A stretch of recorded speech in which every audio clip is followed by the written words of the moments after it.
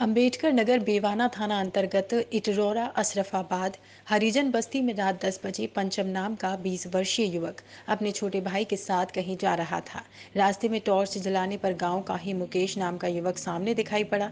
Torch की रोशनी पड़ते ही मुकेश आग बबूला होकर पंचम का गला पकड़कर धक्का दिया और वह गिर गया। साथ में पंचम का छोटा भाई चिल्लाया और परिजन एकत्रित हुए। पंचम को तुरंत उठाकर जिला अस्पताल ले जाया गया, जहाँ पर डॉक्टर पंचम को मृत घोषित कर दिया। सर लड़का खेत भरने जा रहा था। गाँव का एक लड़का मुकेश नाम का है जो गाँव के मोड़ पे खड़ा था। तो ये पंचम जब उसके ऊपर टार्च बारे तो वो बोला कि मुँह पे क्यों बार रहे हो? इसी में विवाद हुआ और मुकेश उसका गला दबा दिया। थाना बेवाना के इटरौरा अशरफाबाद की रात्रि की घटना है। लगभग साढ़े दस बजे पंचम अपने छोटे भाई अभिषेक के साथ जा रहा था। रास्ते में उसे एक युवक दिखाई पड़ा। उसने टॉर्च जलाकर देखा तो गाँव का ही मुकेश था।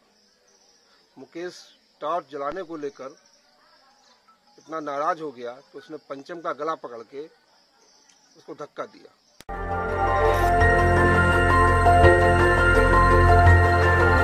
देखते रहिए डीबी भारती समाचार।